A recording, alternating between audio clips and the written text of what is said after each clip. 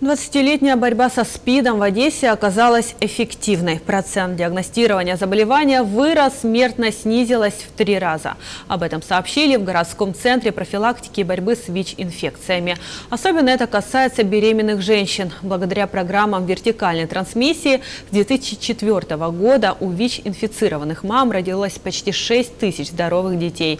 Это 92% случаев.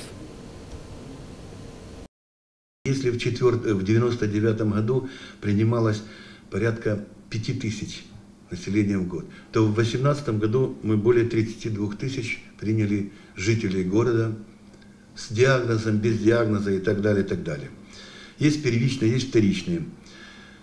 Есть, вот считайте, если в начале года, допустим, э, в 99 году было выявлено более 600 случаев ВИЧ-инфекции, то в этом году, в 2018, я имею в виду, отчетном году, у нас около 2000 было выявлено ВИЧ-инфицированных.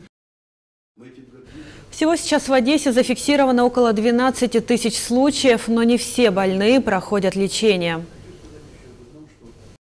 Изменен э, методика и стратегия выявляемости ВИЧ-инфекции. Многие люди ходят еще не знают о своем статусе.